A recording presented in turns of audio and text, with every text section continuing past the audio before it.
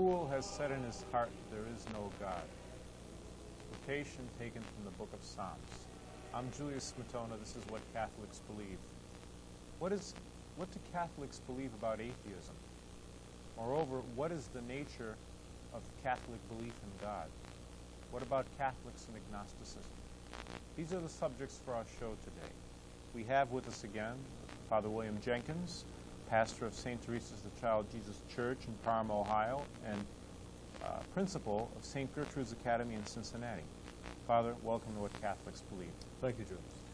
Father, uh, first question I'd like to ask is, is about the, the Catholic belief in God. Is it something which is just an intuition where some people may believe in God, so they choose to be Catholics, but others don't believe in God, and that's fine, and they choose not to be Catholics?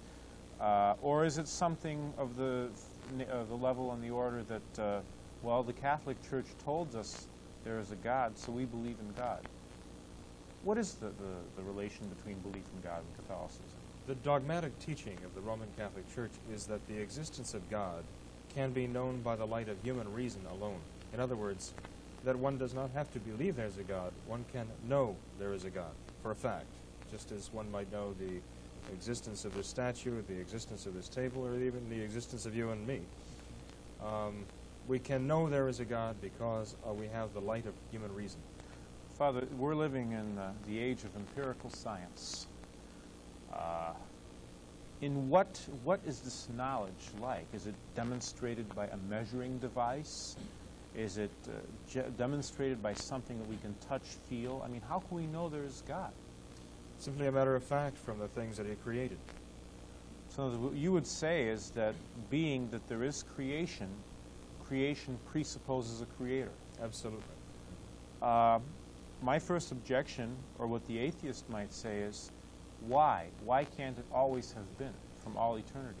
Well, first of all, let's define our terms. Okay. Can we do that? All right. I think there's a certain amount of confusion in the use of the term atheist and the use of the term agnostic. For example, what would you say would be the the definition of an agnostic? What is agnostic? An agnostic is someone who would say that God is not knowable, or that his demonst- if he exists, his existence could not be demonstrated. And what about atheist? Atheism, atheist is one. Looks like we're switching roles, Father. Hey, well, we'll, play it for a while. Atheism is one who would say there is no God. He would assert that there is no God, uh, dogmatically, if I may mix metaphors. Okay, I'd like to take issue with that a little bit. All right. Um, I have been confronted by people who call themselves atheists, who are not truly atheists, according to my definition. Well, let me Uh, ask you, what's your definition of I'd be atheism? glad to tell you. I was hoping you'd ask. An atheist, in my book, is one who knows there is no God. If an agnostic is someone who does not know whether or not there is a God, he's in doubt. Then an atheist must be someone who knows for a fact that there is no God. In other words, he must have somehow proven to himself that there is no God. And so, whenever I encounter an atheist, I'll ask the atheist to prove to me that there is no God. And the atheist will then generally hem and haw and finally come out with something like, Well, I feel better when I think there is no God. Or, the world would be so much nicer if there were no God. Or, well, look at the evil in the world. Uh, I really don't think there can be a God. What it comes down to is that the so called atheists often are nothing but agnostics. Because as long as the atheist cannot prove there is no God, he must admit that there might be a God. And if he admits that there might possibly be a God, he's not an atheist, he's an agnostic. Uh, an atheist is someone who puts himself in the very difficult position, the impossible position, of having some kind of rational proof that there is no God. That's impossible. That's Yeah, that yeah, strikes me that although there has never been a satisfactory proof for the non-existence of God, there have been many proofs for the existence of God. Uh, the uh, stipulation, however, is, is that most of the proofs for the existence of God have been challenged by uh, more modern philosophers, uh, say Immanuel Kant, uh, Hobbes, Berkeley, Hume, those people would challenge these proofs. You said the church says one can know the existence of God from reason. Uh, could you expand on that? Yes, well, we have so many indications of the existence of a creator. Uh, first of all, the very existence of things that do not need to exist. There's such a thing as a necessary being, a being that of its very nature exists, and there is such a thing as a contingent being, that is, a being that can exist, uh, but it doesn't have to. It comes into existence and then it disappears. Right? Everything we know in this world is a contingent being. It does not need to exist. It comes into being and it disappears, and the world just keeps going on. When you say it does not need going. to exist, what do you mean it's a necessary being? I mean, of its very nature. It doesn't exist simply by its very nature. It is a nature that is given to it. Uh, it is something that depends upon something else. Everything in existence that we know of depends upon something else for its existence. Now, at the bottom of it all, there must be some necessary being who simply exists because it is of his very nature to exist. And that we consider God. Uh, it Why? reminds me of a of a story of a uh, scientist who said he had a uh, an elderly lady come into one of his classes as he was talking about the the foundation of the world and where the world came from, and the little lady raised her hand and said that actually the world is sitting on a turtle on the back of a turtle. And then he thought he would play along and said, And what is that turtle standing on? And she said, Well, that's standing on the back of another turtle. So he said, And what about that turtle? Where's that turtle standing? And she said, Well, that's obviously on the back of another turtle. And he started asking, Well, what about. And she cut him off and said, Now hold it, Sonny, save your breath. It's turtles all the way down. There has to be a foundation for what we see. You cannot have an infinite series of contingent or dependent beings each depending upon the other. There has to be some bedrock. That's common sense. Oh, you yeah. don't have to prove the principle. There is common sense there. But not only that, you can prove it from the nature of the things that are. Scientists talk about laws and principles. Where did those laws and principles come from? There has to be intelligence. We see in the world order. The disorder in the world is generally the result of human beings. But wherever you abstract from human beings and their influence in the world, you see a very definite order. That order can only be the product of mind. And the order is so fabulous that it can only be the product of an infinite mind, which is God. My, uh, my question to you is, and this is the same question, I've, I have objection I've seen raised by who, uh, those who would challenge these proofs. You said that there has to be a necessary being. Why can't this chain of contingent events go back all time? And you say, well, common sense. Well, that doesn't sound very convincing to me. Why can't things have just gone on indefinitely and never started? And never had a beginning. Right. A series of contingent things that never had a beginning because it's nonsense. Mm-hmm. Because it's total nonsense. Look, even the scientists today talk about things, the universe having had a beginning. Mm-hmm. They recognize the, the, the nonsensical nature of saying that there was simply no beginning for this world. This world is a contingent world that does not exist of its very nature. Things are constantly changing. They're changing in an orderly fashion. Mm-hmm. Even the scientists today point back to some beginning from which the present order came. Um, it is not the scientists, by the way, who are the atheists. It is the philosophers who take the conclusions of science and then twist them and mold them to fit their own philosophical ideas. Uh, you don't find too many scientists who are true atheists. Um, you can also find the existence of God in uh, the image of God in man. Uh, the fact that we are totally unique in all of creation.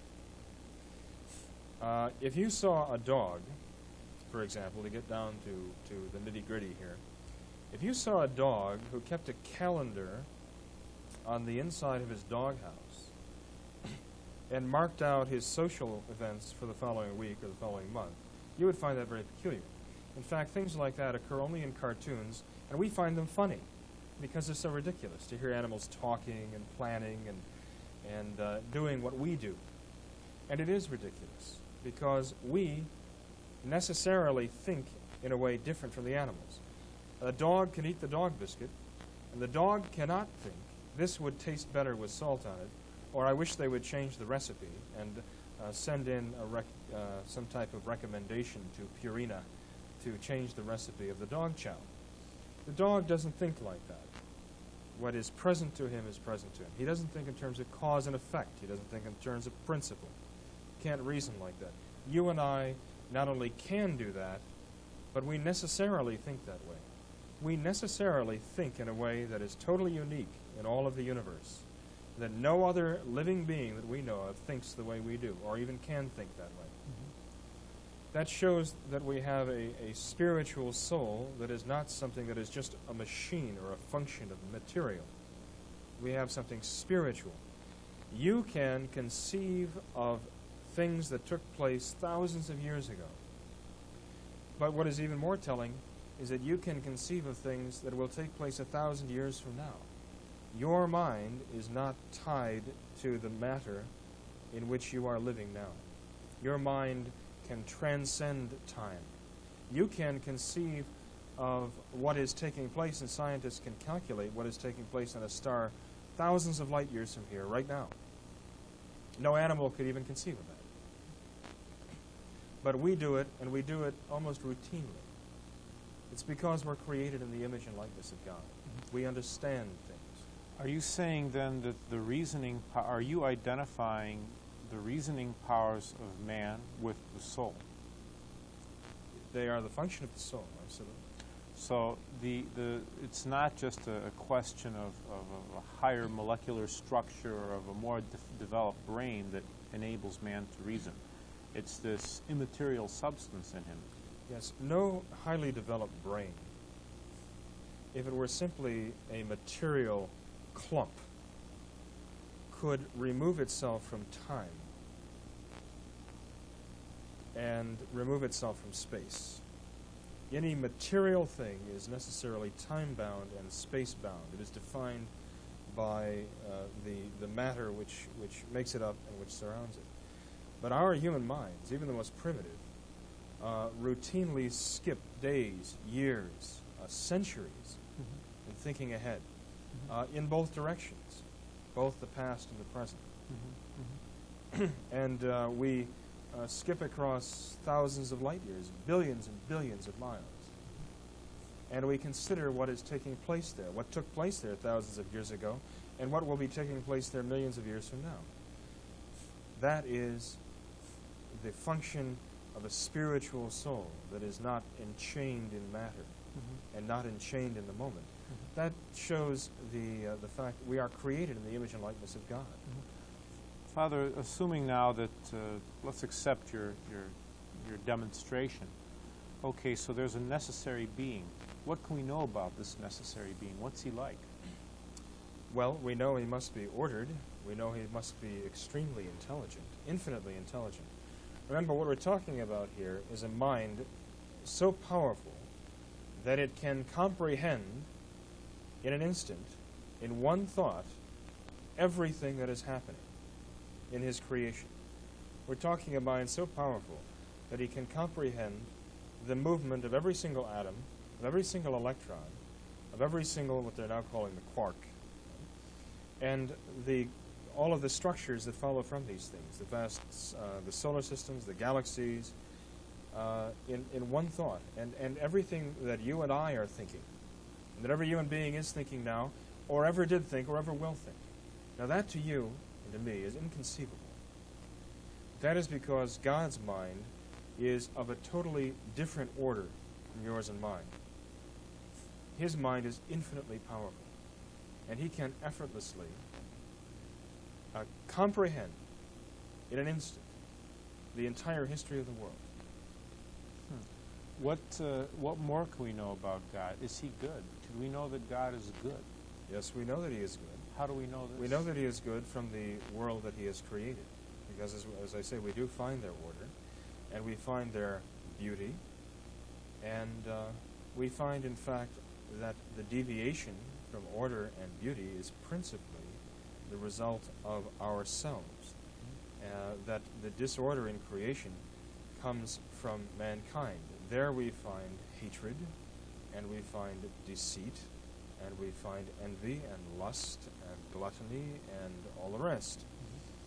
Um, but outside of our own existence in the world, we find uh, order and beauty. Now, I'm not saying that uh, nature, uh, you know, who was it who said nature uh, red of tooth and claw, right? But, uh, uh, but nonetheless, we find there a very definite order. What about earthquakes? I mean, is this does this show order? Absolutely, it does. Earthquakes uh, can create new, what they call ecological systems. And even out of the ruins of an earthquake or a volcano, we find uh, life springing anew. And again, according to a very definite order. Uh, as far as the disasters that go, though, according to our faith, which we uh, uh, first find in the book of Genesis, right, in, in sacred scripture, we find that there was a Garden of Eden, or paradise, in which there were no natural disasters. Uh, a garden prepared for human beings who are created in grace. And that only after man defied God was that order in the world shattered. And it was shattered by a will of man, not by the will of God. And uh, that brought into the world the disasters which we experience in which we suffer. What uh, what prompted God to create? Why did He create the universe? Why did He create man? There's a principle in theology, uh, bonum est diffusivum sui, which means goodness tends to diffuse itself, to share itself. We see that even in this world, in this corrupt world. We see that goodness tries to share itself, spread itself. And so it is with God, who did not need the world for his glory, nonetheless created us as an expression of his glory and his goodness. Why did uh, why did He create man? How, how is man an expression of His goodness? If we look around and we see the suffering, the evil, the crimes, how can man be? Well, he did not create man to be this way. Okay, God created man to be the, the image of him in this world. Um, but man chose his own pride and uh, to rebel from God, to say, No, I will be my own God. And so it is with atheists today that you'll find atheism is not so much an act of the intelligence as an act of the will. The atheist says, No, I am convinced intellectually there is no God. The atheist says, or what he should say is, I will that there is no God. And so for me, there will be no God. And he sets himself up, therefore, as his own God. And he will decide for himself then what is right and wrong. He won't accept any right or wrong that is imposed upon him from outside. Is there ever associated, or would the Catholic Church impute to the atheist maliciousness? Would it be sinful to be an atheist? Only if the atheist were insane. Because uh, the belief in God is rational, it is reasonable. The denial of God's existence is irrational, right? it is unreasonable. And therefore, an insane person could deny the existence of God. If a sane person denied the existence of God, the church would teach there must be some malice. In other words, it gets back to what I was saying a minute ago. The, the sane person who denies the existence of God must do it not out of intelligence, but because of an act of the will that he wants there to be no God. He doesn't want there to be a God because the idea of God makes him uncomfortable. And therefore, he is morally responsible, and he will be condemned for that. Uh, Father, you've mentioned certain things which we could know from the light of reason the existence of God, that He is good. What about the existence of other creatures, such as the angelic natures? Can we know that from the light of reason? Can we know the existence of other creatures in the light of reason? Yes, we can. Angelic creatures? Yes, we can see a hierarchy in creation. I mean, we see the raw material creation and then the elementary forms of life coming up all the way to ourselves. And we can know the existence of God by the light of reason. But we are a mixture of soul and body, spirit and matter. And we can reasonably expect that between us and God there are still intermediary forms of, of beings that exist who are uh, pure spirit, like the angels. We wouldn't know for sure that they do exist, but that there's a possibility for their existence. It would be very reasonable to, uh, to believe their existence, yes. Why, why are our times so atheistic? It, uh, to play the protagonist here, uh, it seems that as modern science, or science has made tremendous progress, that this has uh, been paralleled by a progress in atheism. In other words, atheism seems to have a much greater hold on the world. In fact, there are even uh, social systems which are militantly atheistic and, in fact, enforce atheism, such as communism. What's your explanation for that? Because it would seem to say that uh, when darkness was lifted from the world and man was enlightened, he became an atheist. When he didn't know anything, then he believed. Well, here we are in the post Enlightenment age when man finally discovered the power of their own reason. And it is during this age that we see the great world wars, and thousands and thousands of people killed, and millions in parallel, in peril, because of the technology that we have. And we consider this to be the result of our own enlightenment.